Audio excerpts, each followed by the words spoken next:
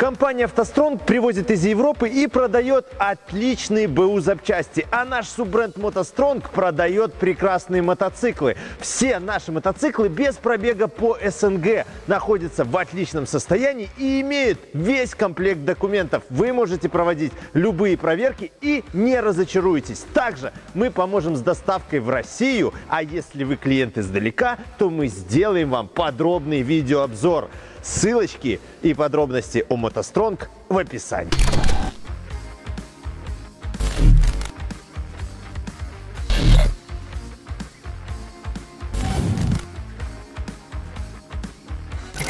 А в этом видео мы постараемся рассказать все, что думаем о 16-клапанных турбодизелях ВАКС насос с форсунками. Итак, встречаем 2.0 TDI.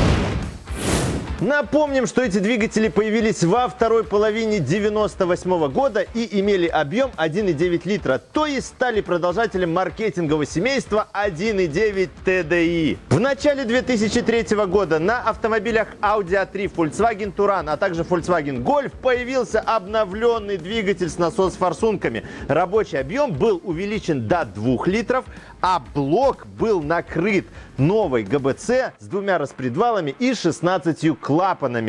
Первый двигатель обозначался АЗВ и имел мощность 136 лошадиных сил, а затем БКД мощность 140 лошадиных сил. Добавим, что к концу 2005 года появились восьмиклапанные двухлитровые двигатели с насос-форсунками, которые выдавали те же 136 и 140 лошадиных сил. Среди двухлитровых 16-клапанных двигателей с насос-форсунками есть двигатели, которые развивают до 170 лошадиных сил. Эти 170-сильные двигатели также предназначались для поперечной и продольной установки. И сегодня мы будем разбирать 16-клапанный двухлитровый двигатель с насос-форсунками 2.0 TDI с индексом БКД, снятый с Audi A3 2003 года выпуска. Помимо Audi A3 этот двигатель устанавливался на Volkswagen Golf, Touran, Jetta, также на Seat Alteo, Leon, Толедо, а также на Шкода Суперб и Октавия. Выпускался он с 2005 по 2011 год. В его выхлопной системе нету сажевого фильтра. О двигателях 2.0 TDI очень много противоречивой информации.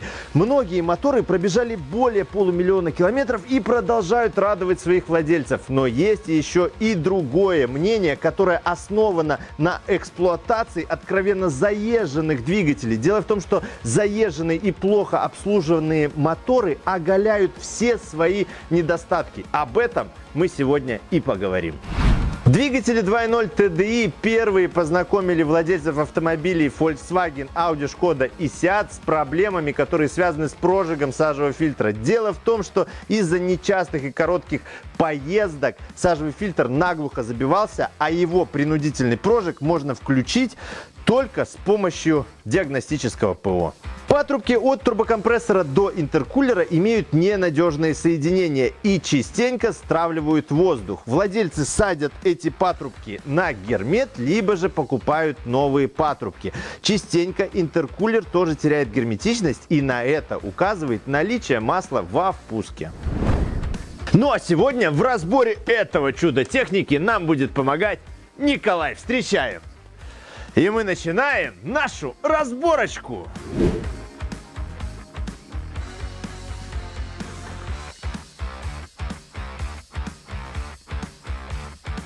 Двигатель 2.0 БКД получил более производительный радиатор EGR.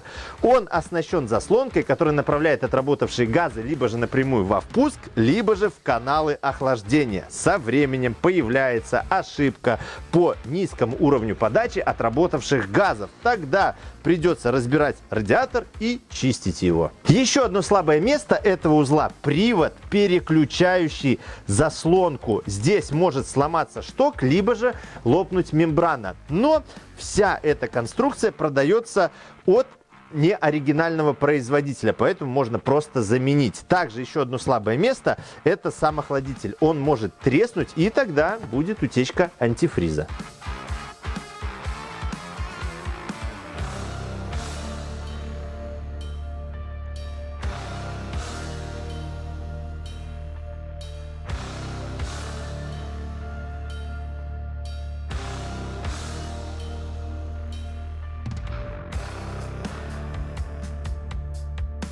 Двигатель 2.0 БКД оснащен турбокомпрессором Гары GT1749 VA. Горячая часть турбины является одной частью с выпускным коллектором. Лопатки геометрии управляются вакуумным актуатором, а этим актуатором управляет клапан N75. При любых проблемах с этим клапаном, а также негерметичности вакуумных трубок возникают проблемы с работой турбокомпрессора, то есть не додув либо передув, причины надо искать в вакуумной системе. При не слишком активной езде на средних либо низких оборотах лопатки геометрии могут подклинивать из-за сажевого нагара.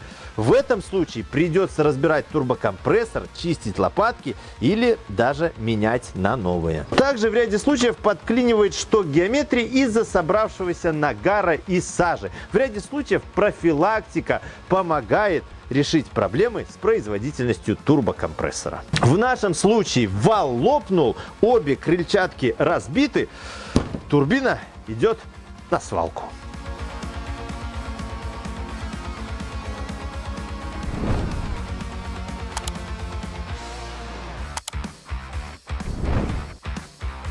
Клапан EGR на двигателе 2.0 БКД оснащен пневмоприводом. Перед ним стоит заслонка воздушная, которая оснащена сервоприводом. Система EGR очень хорошо мониторится блоком управления. Если EGR на этом моторе не заглушен, то рано или поздно покажется ошибка, которая будет указывать на недостаточный поток отработавших газов. Это происходит из-за сильного загрязнения клапана EGR гуталином из сажи и масла. Также мембрана этого клапана иногда лопается, либо же и вовсе растворяется из-за попадания на нее масла. В этом случае надо менять клапан EGR на бэушный, естественно, из автостронга, либо же глушить клапан EGR, либо развальцовывать вот эту крышку и менять мембрану.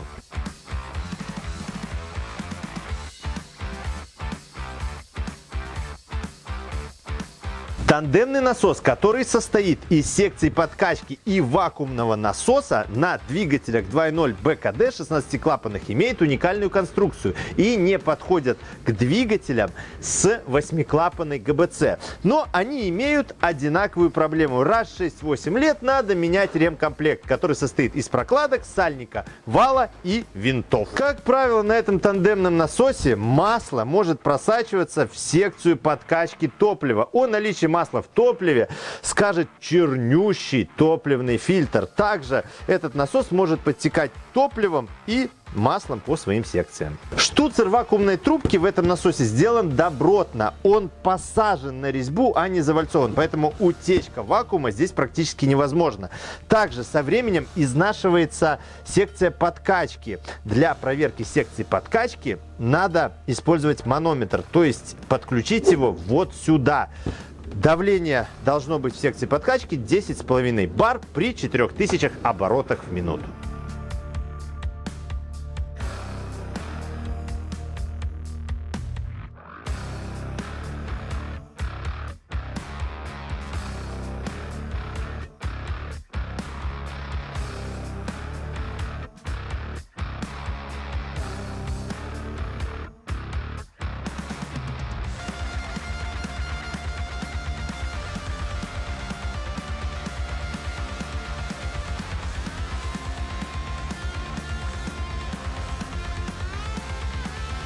Традиционно на двигателях с насос-форсунками в приводе ГРМ используется более широкий зубчатый ремень. Также шкив коленвала установлен на шейке вот на этом полумесяце. Бывает, что полумесяц срывает, шкив проскальзывает, и тогда поршни встречаются с клапанами. При каждой замене ремня ГРМ очень важно снять шкив, осмотреть полумесяц и при необходимости заменить. Менять ремень ГРМ надо каждые 120 тысяч километров. А болт шкива надо затягивать с правильным усилием.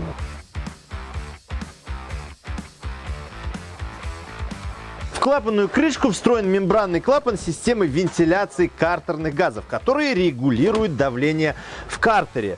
При больших пробегах есть необходимость его снять и почистить. На его загрязнение указывает повышенное давление в картере и выдавливание масла через сальники двигателя. Но это крайний случай. Перед этим нарушается слив масла из картриджа турбины. И поэтому турбина выдавливает масло во впуск и выпуск. Одним словом, если мембранный клапан никогда не подвергался чистке, то стоит его снять и почистить. И не лишним будет заменить ту самую мембрану. Оригинала никогда в продаже не было, но есть заменители. Электропроводка к насос-форсункам под клапанной крышкой нередко оголяется из-за рассыхания изоляций.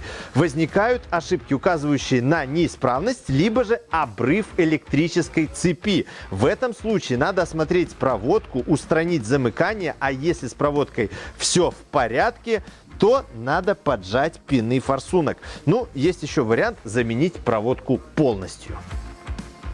С двигателя, который мы разбираем, насос форсунки сняты и, скорее всего, проданы. Но на нашем складе мы, естественно, нашли несколько насос форсунок. Для наглядности, вот это насос форсунка с восьмиклапанного двигателя. Мы вам такие не раз показывали с креплением одним винтом. А вот эта форсунка конкретно с нашего двигателя, она крепится двумя винтами. Вот это усовершенствованное крепление предотвращает износ гнезд насос форсунок на 16 клапанных двигателях, а также предотвращает разгерметизацию каналов подачи и слива топлива. Но, тем не менее, раз в 200 тысяч придется поменять вот эти уплотнительные кольца. Насос форсунки имеют приличный ресурс.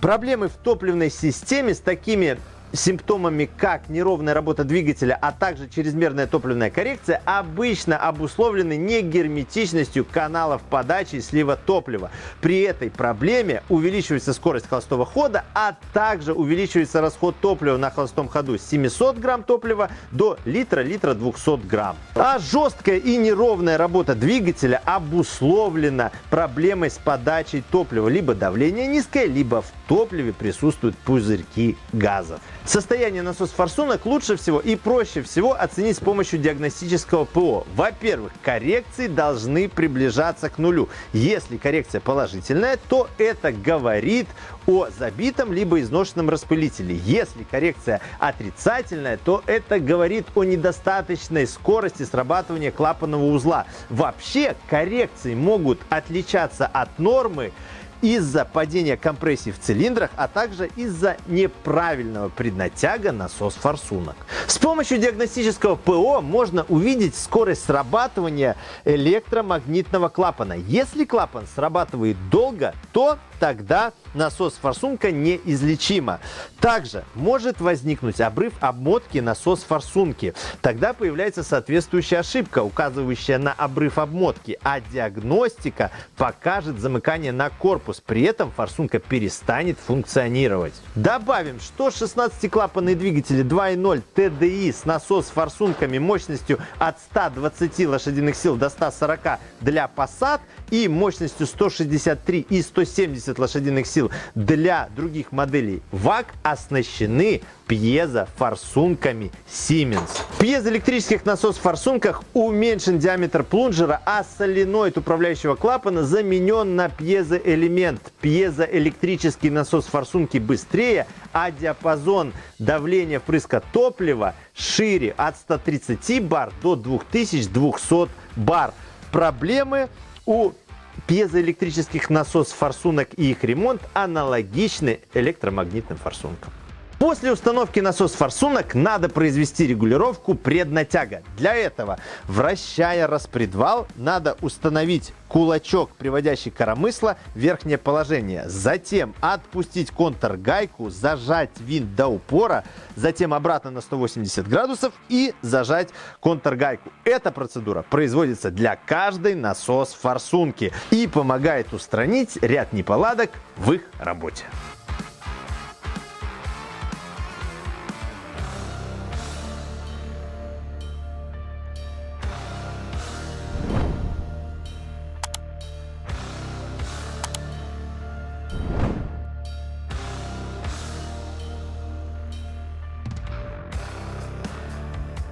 16-клапанные двигатели с насос-форсунками не имеют проблемы с износом кулачков, как и их одновальные собратья. А теперь о состоянии. Мы видим чернющее масло, но это нормально для дизельных двигателей. И на кулачках мы видим поверхностный износ.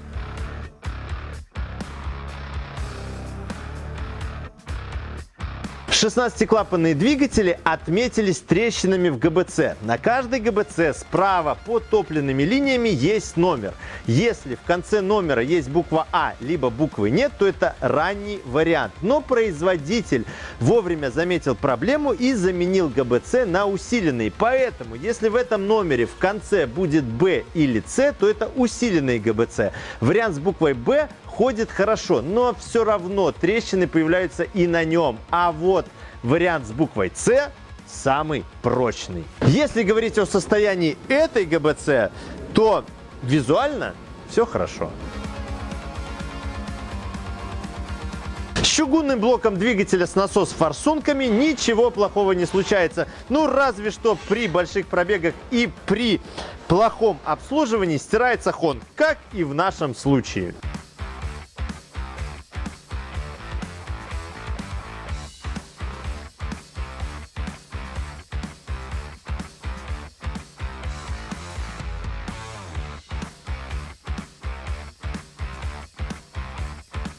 На 140-сильном двигателе с насос-форсунками БКД маслонасос приводится короткой цепью от коленвала. Этот привод и маслонасос работают безупречно по полмиллиона километров. Также такой привод используется в 163-сильном и 170-сильном двигателе 2.0 TDI с насос-форсунками, которые устанавливали на Audi A3, Golf, Туран и Octavia. Для большинства двигателей 2.0 TDI для поперечной установки и продольном восьмиклапанном двигателе, который устанавливали на Альхамбра и Шаран, используется модуль балансирных валов со встроенным маслонасосом. С этим модулем связаны две поломки. Во-первых, на ранних двигателях 2.0 TDI для Volkswagen Passat, Audi A4 и A6 балансирные валы и маслонасос приводились вот такой цепью. Натяжитель цепи рассыпался, цепь теряла натяжение, движения, балансирные валы переставали вращаться, а маслонасос переставал работать, а зубья вот этой шестерни стачивались в ноль. Такую проблему мы очень подробно разобрали в одной из наших разборок. Кому интересно, кликайте по ссылочке и смотрите. В процессе концерн Volkswagen отказался от такого привода и начал использовать вот такой шестеренчатый. Во-вторых, в модуле балансирных валов изнашивается шестигранный вал, который приводит маслонасос. Из-за этой откровенно дешевой и неудачной детали, у которой стираются грани, перестает функционировать маслонасос. Производитель заменил этот шестигранный вал, у которого длина была первоначально 77 миллиметров, на улучшенный, который тоже был длиной 77 миллиметров, а уже в более новых двигателях 2.0 TDI используется вал длиной в 100 миллиметров.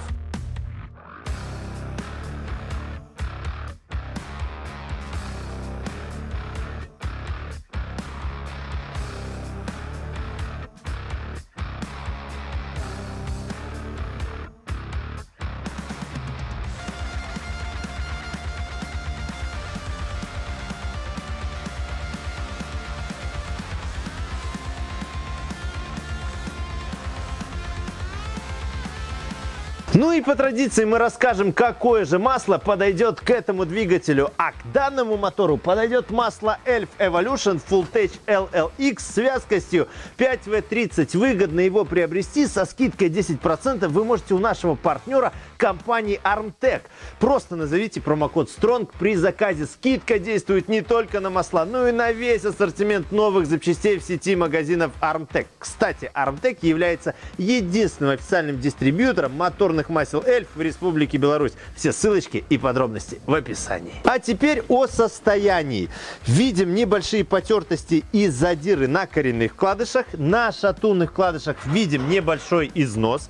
Все поршневые кольца подвижны и небольшой нагар на жаровом поясе. Коленвал выглядит хорошо. Стоит отметить, что на двигателях 2.0 TDI случались немногочисленные поломки коленвала. Это случалось и на очень ухоженных двигателях, то есть проблем со смазкой не было, вкладыши не изнашивались, но колено по неизвестным причинам ломалось.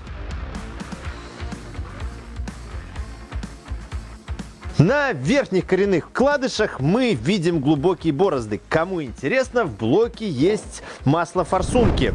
Разборка закончена и сегодня мы провели полный гайд по проблемам 16-клапанных двигателей с насос-форсунками. В нашем плейлисте есть несколько отличных разборок 8-клапанных двигателей. В целом же двигатель противоречив. Да, можно сказать, что он надежен, но если проблемы возникают, то их возникает много и они дорогие. Если вы хотите знать о моторах, коробках и БУ запчастях абсолютно все, обязательно подпишитесь на наш канал, поставьте лайк этому видео, заходите на наши соцсети, заходите на наш сайт, покупайте у нас отличные запчасти и помните, что с вами всегда была есть и будет компания «АвтоСтронг».